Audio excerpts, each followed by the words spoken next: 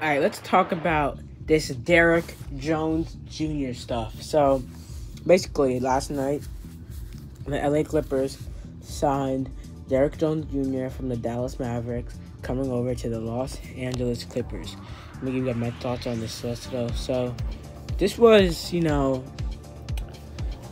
I like this. I like this a lot because um, when you look at his stats, he, he's not the best player on offense, but he has the defense, averaging about a steal and a block a game. So it would be really crucial to our defense. Now, he didn't get much minutes in every game with the Mavs. He got about 23 and a half minutes with the Dallas Mavericks any game, every game. So if we, if, when he comes to us, if he can get uh, 31 minutes, 32 minutes, 33 minutes, 34, 35, or so on, he's gonna put up more points he's gonna probably average about 16, 17 points, maybe about five, six rebounds, a couple assists, and then he's gonna average like a block and a steal a game. So the defense will be great. You're gonna have Harden who can play defense.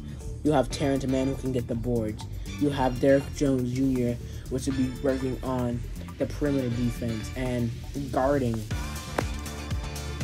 Then you have Kawhi, which is probably the best defender on the whole team. And then you have Zubac, which is good with the paint defense. He's good inside, gets the blocks, has his hands up, ready to ready to go for a block. And you can have that defense. You can have, you know, each player in the starting five helps something with our defense.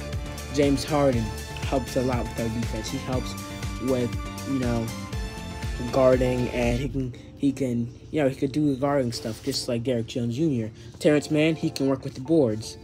And then Derrick Jones Jr., Kawhi, and Harden can work on the man-to-man, like perimeter defense. And then Zubac and Terrence Mann will be getting getting the boards. So it works out perfectly for the Clippers. So this defense will be great. We're gonna have, you know, we got rid of PD, so obviously it's gonna our team's gonna be maybe a little weaker. But we're going to see how Derrick Jones Jr. does at the small forward with the Los Angeles Clippers. Yes, we got rid of Paul George. It's tough. Tough to see him go to the Phillies, but, you know, I respect what he did for the Clippers for the five years that he was here. I mean, I'm surprised that he just left Kawhi Leonard in the dust, but Kawhi Leonard, when they go against the 76ers, the Clippers will prove that they, the Clippers will prove that they do not need Paul George to have a fantastic season. But that is it, guys. Subscribe to the channel if you guys want more me talking about trades, you know, talking about basketball and a lot of other sports. But that is it. I'm out. See you later. Peace.